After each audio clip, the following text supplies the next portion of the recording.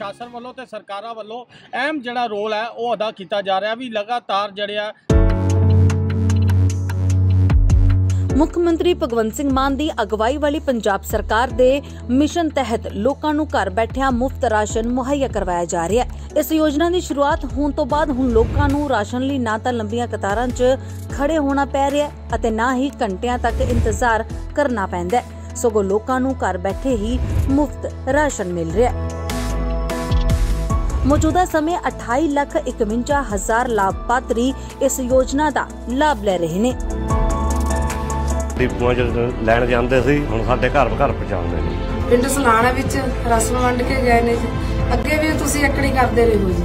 ਬਹੁਤ ਧੰਨਵਾਦ ਤੁਹਾਡਾ। ਮੰਤਰੀ ਸਾਹਿਬ ਦਾ ਪਿੰਡ ਆਏ, ਸਾਡੇ ਸਾਨੂੰ ਬਹੁਤ ਅੱਛਾ ਲੱਗਿਆ ਇਸ ਯੋਜਨਾ ਤਹਿਤ ਲਾਭਪਾਤਰੀ ਨੂੰ ਉਸਦੇ ਘਰ ਤੱਕ ਰਾਸ਼ਨ ਦੀ ਸਪਲਾਈ ਬਾਰੇ ਐਸਐਮਐਸ ਰਾਹੀਂ ਸੂਚਿਤ ਕੀਤਾ ਜਾ ਰਿਹਾ ਹੈ। ਜੇਕਰ ਕੋਈ ਫੀਡਬੈਕ ਸੁਝਾਅ ਜਾਂ ਸ਼ਿਕਾਇਤ ਕਰਨਾ ਚਾਹੁੰਦਾ ਹੈ, ਤਾਂ ਲਾਭਪਾਤਰੀ ਟੋਲ ਫ੍ਰੀ ਨੰਬਰ 1100 ਤੇ ਕਾਲ ਕਰ ਸਕਦੇ ਹਨ। ਇਸ ਸਕੀਮ ਤਹਿਤ ਰਾਸ਼ਨ 'ਚ ਕਣਕ ਜਾਂ ਆਟਾ ਜੋ ਵੀ ਪਰਿਵਾਰ ਲੈਣਾ ਚਾਹੇ, ਘਰ ਬੈਠੇ ਹੀ ਉਸ ਨੂੰ ਮੁਹੱਈਆ ਕਰਵਾਇਆ ਜਾ ਰਿਹਾ ਹੈ।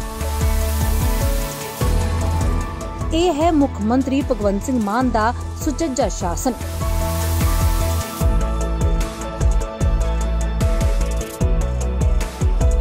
ਲੋਕਾਂ ਨੂੰ ਘਰ ਬੈਠੇ ਮਿਲ ਰਿਹਾ ਮੁਫਤ ਰਾਸ਼ਨ।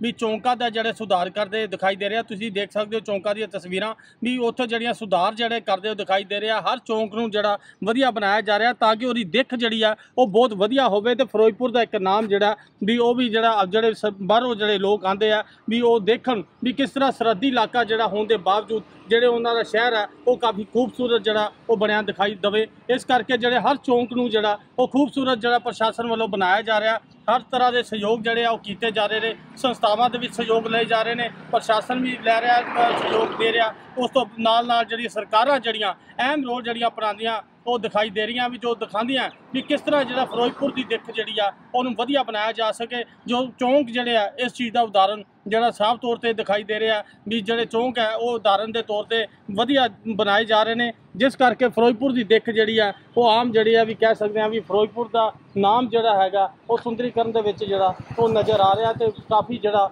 ਵਧੀਆ ਸਰਕਾਰਾਂ ਵੱਲੋਂ ਯੋਗਦਾਨ ਦਿੱਤਾ ਜਾ ਰਿਹਾ। ਜਿਸ ਕਰਕੇ ਸਰਕਾਰਾਂ ਨੇ ਇਹ ਜਿਹੜੇ ਰੋਲ ਜਿਹੜੇ ਅਪਣਾਏ ਨੇ, ਫਿਰੋਜ਼ਪੁਰ ਜਿਹੜਾ ਪ੍ਰਸ਼ਾਸਨ ਹੈ, ਇਹਦੇ ਵਿੱਚ ਕਾਫੀ ਜਦੋਜਹਿਦ ਜਿਹੜਾ ਕਰਦਾ ਦਿਖਾਈ ਦੇ ਰਿਹਾ ਤੇ ਜਿਸ ਕਰਕੇ ਹਰ ਜਿਹੜਾ ਚੌਂਕ ਹੈ, ਜਦੋਂ ਸ਼ਹਿਰ ਵਿੱਚ ਦਾਖਲ ਹੁੰਦੇ ਆ, ਉਸ ਚੌਂਕ ਤੋਂ ਲੈ ਕੇ ਸ਼ਹਿਰ ਦੇ ਅੰਦਰ ਤੱਕ ਜਿਹੜੇ ਸਾਰੇ ਚੌਂਕ ਆ ਜਿਹੜੇ ਉਹ ਸਵਾਰੇ ਗਏ ਨੇ। ਤੇ ਸਵਾਰੇ ਜਾ ਵੀ ਰਹੇ ਨੇ ਜੋ ਦਿਖਾਉਂਦਾ ਵੀ ਕਿਸ ਤਰ੍ਹਾਂ ਪ੍ਰਸ਼ਾਸਨ ਫਿਰੋਜ਼ਪੁਰ ਦੇ ਇੱਕ ਨਾਮ ਨੂੰ ਸਰਦੀ ਇਲਾਕੇ ਨੂੰ ਉੱਚਾ ਚੱਕਣ ਵਾਸਤੇ ਜਿਹੜੇ ਅਹਿਮ ਕਦਮ ਜਿਹੜੇ ਅਹਿਮ ਰੋਲ ਜਿਹੜਾ ਉਹ ਅਪਣਾਉਂਦਾ ਦਿਖਾਈ ਦੇ ਰਿਹਾ ਕੈਮਰਾਮੈਨ ਦੇ ਨਾਲ ਸਰਬਜੀਤ ਸਿੰਘ ਦੈਨਿਕ ਸਵੇਰਾ ਫਿਰੋਜ਼ਪੁਰ देश दुनिया की हर खबर सबसे पहले देखने के लिए फॉलो करें Dainik Savera TV YouTube Facebook Instagram X और व्हाट्सएप चैनल पर।